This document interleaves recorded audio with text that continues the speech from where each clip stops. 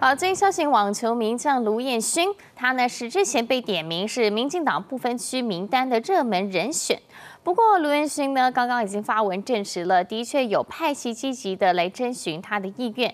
不过因为无意从事政治只希望可以持续壮大台湾的体育实力所以已经婉拒。